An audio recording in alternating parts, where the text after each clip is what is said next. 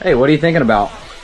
If you're swimming on the sun and your pet penguin Jerry catches a cold, what should you have in your teeth? Um, a teaspoon because cats hate Star Trek. Yes.